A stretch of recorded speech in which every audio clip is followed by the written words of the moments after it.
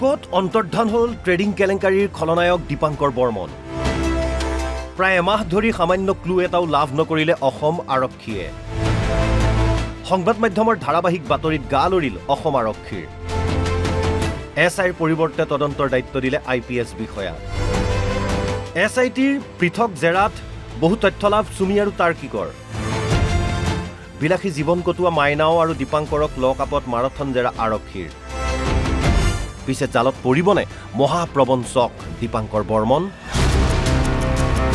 যোৱা ঊনৈছ আগষ্টৰ কথা দীপাংকৰ বৰ্মন নামৰ গুৱাহাটীৰ এটা মহাপ্ৰবঞ্চকে ৰাইজৰ শ শ কোটি টকা আত্মসাত কৰি উধাও হোৱাৰ খবৰ বিয়পি পৰিছিল সৰ্বত্ৰে। চাৰিওফালে চৰ্চা কাৰ কিমান টকা লুটি নিলে প্ৰবঞ্চকটোৱে? তেখেতসকলৰ যিখিনি বেংক একাউণ্ট আছে বেংক একাউণ্ট তেওঁলোকৰ বা তেওঁলোকৰ নিজৰ আত্মীয়ৰ যিখিনি একাউণ্ট আছে সেই একাউণ্টখিনি চিজ কৰা হৈছে। প্ৰায় সেই একাউণ্টত এক কোটি বিয়াল্লিছ লাখমান টকা আছে। আৰু বিলাসী বাহন চাৰিখন আমি চিজ কৰিছোঁ।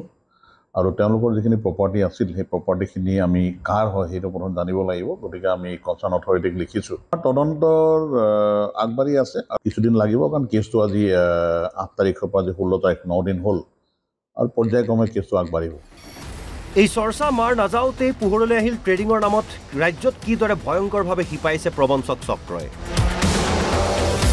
আৰক্ষীৰ জালত পৰিল মনালিছা দাস বিশাল ফুকন ৰঞ্জিত কাকতি সুন্দৰী নৰ্তকী চুমি বৰা তাৰ্কিক বৰা মাইনাও ব্ৰহ্ম প্ৰবঞ্চক দীপাংকৰ ভট্টাচাৰ্য ইত্যাদি। কিন্তু বিগত প্ৰায় এমাহ ধৰি কোনো খবৰেই নাই অসমৰ ট্ৰেডিং কেলেংকাৰীৰ মূল গুৰি ধৰোতা এইটো মহাপ্ৰবঞ্চক দীপাংকৰ বৰ্মনৰ। ঊনৈছ আগষ্টতেই গুৱাহাটীত শেষবাৰৰ বাবে আৰক্ষীয়ে পাইছিল দীপাংকৰৰ মোবাইল লোকেশ্যন।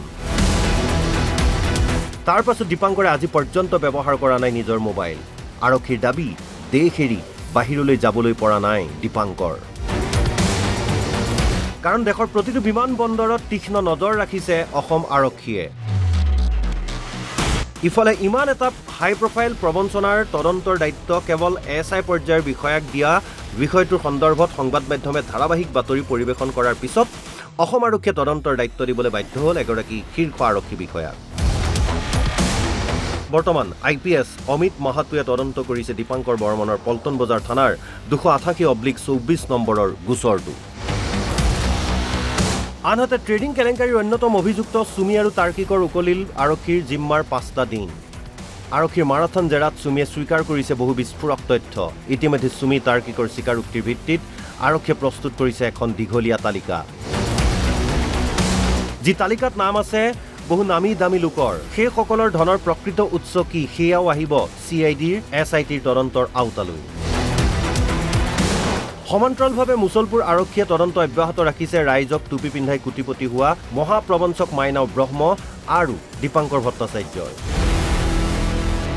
দুয়োকে আৰক্ষীয়ে নিজৰ জিম্মাত লৈ ক্ষিপ্ৰভাৱে আৰম্ভ কৰিছে তদন্ত। কিন্তু এই তদন্ত আৰু কিমান দিনলৈ চলিব আৰু কিমান লোক জালত পৰিবলৈ বাকী? দীপাংকৰ বৰ্মন সঁচাকৈয়ে আৰক্ষীৰ জালত পৰিবনে নে তালিকাত প্ৰভাৱশালী লোকৰ নাম আহিলেই বন্ধ হ'ব? তদন্ত। সেয়া এতিয়া সকলোৰে মাজত প্ৰশ্ন। ডিব্ৰুগড়ৰ পৰা ৰাজু সোণোৱাল মুছলপুৰৰ পৰা সুবৰ্ণ পাঠকৰ সহযোগত গুৱাহাটীৰ পৰা মনোজ দুৱৰাৰ ৰিপৰ্ট এন বি নিউজ।